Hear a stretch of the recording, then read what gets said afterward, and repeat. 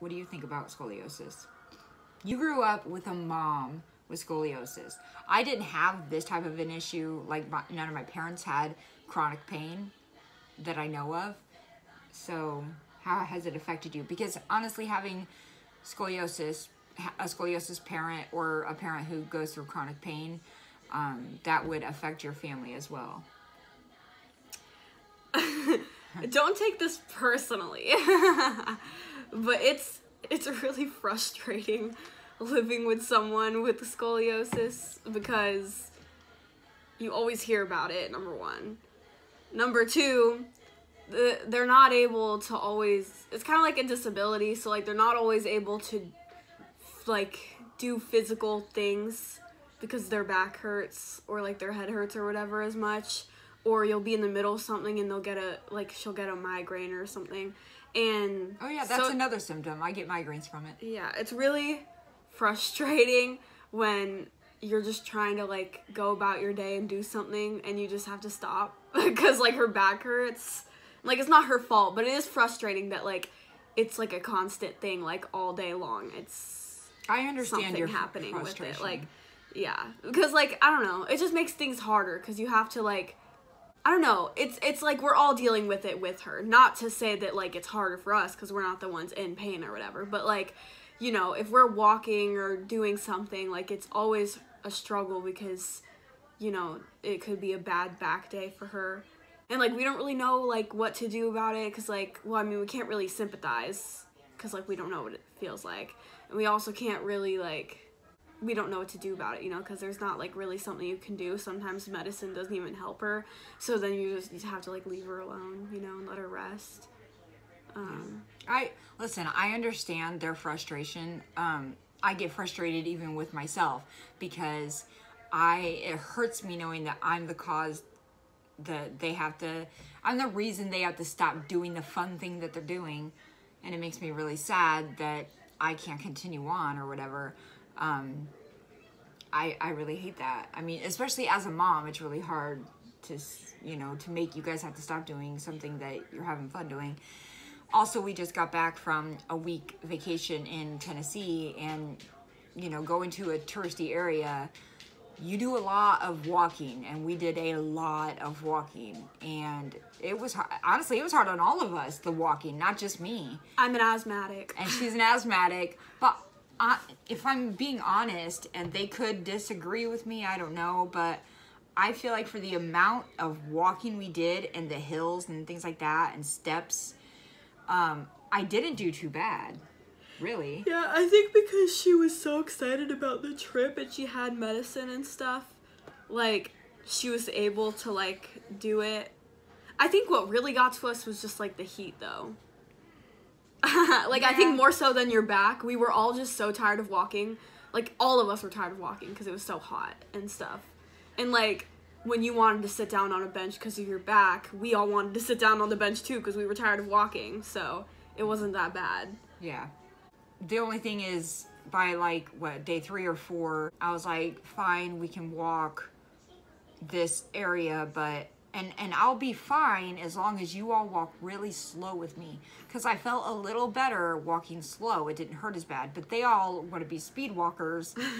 and that's when it would hurt because I have to walk fast with them. But I was like, if I walk slowly, it's not as bad and I can handle it. But they all Yeah. wanted to go fast.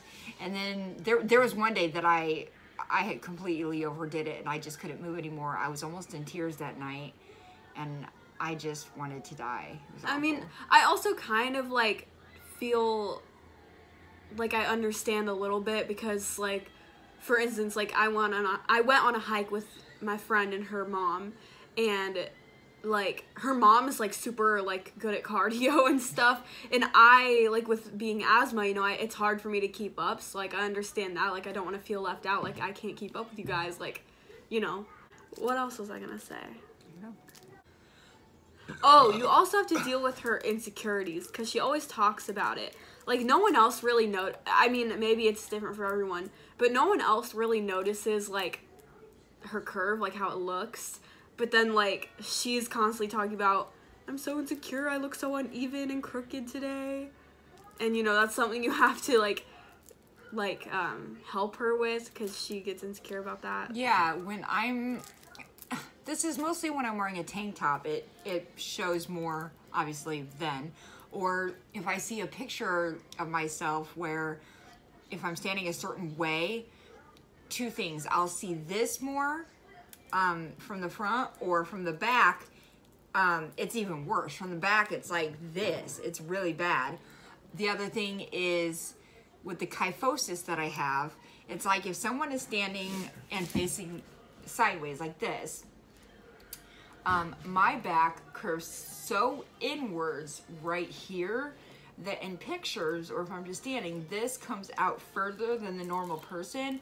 And no matter if I were big or small, thin or large, I look completely fat in the stomach just because my curve is coming in further this way and this is all puffed out.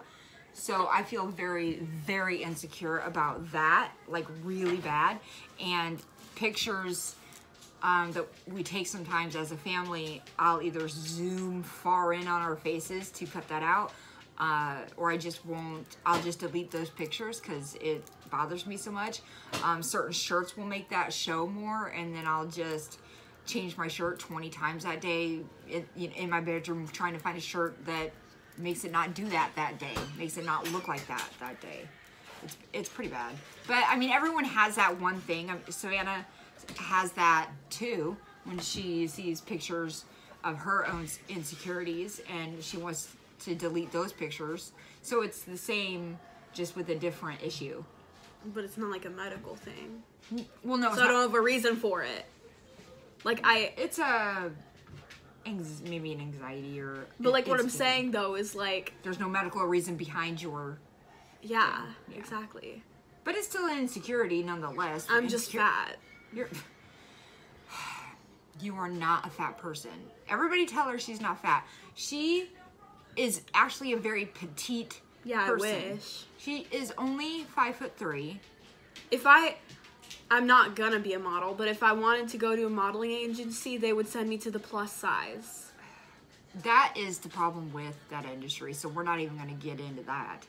But Savannah's beautiful.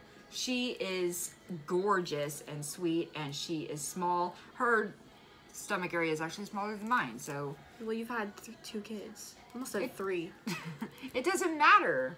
Also, I think it's because it's her body, so she thinks of it differently. But like, I don't. I also can't speak for everyone else, but at least like me, I don't really notice her shoulders or whatever until she points them out. And when she points them out, then I'm like, I mean, I guess I can see it, but it's not that big of a deal. But like, I don't think people are looking at her like her shoulders are uneven. That's everyone though with their insecurity. Like, yeah. when I look at you, I literally don't see the things ever that you talk about until you say, ew, this looks so bad. And then, like, I'm forced to look at what you're looking at, you know? And, but there's, to me, there's nothing wrong with it. Is. no, there's nothing wrong with it. Or, or, I will see, um, I'll play back one of my videos that has her in it and, or be editing it or whatever, and I'll see her maybe like laugh really hard and in my mind I'm like oh my god she looked so cute when she was laughing right there and I god I wish I had that smile and um, you know I, I wish I was as cute as her. And then she'll watch the same exact thing and be like oh that is the ugliest thing I've ever seen. I, I laugh so ugly. Yeah, everyone but says to me it's like so cute. She has the cutest smile. Yeah, everyone says it's so important to have a cute smile. Like that's like the most important like physical feature. And I feel like I have the literal ugliest smile ever. I disagree. So like, yeah. I I have the ugliest smile. No. Your really? laugh lately has been like so cute. Anyway, this video has gone on uh, to be things that are not about scoliosis, and that is not what I wanted to do.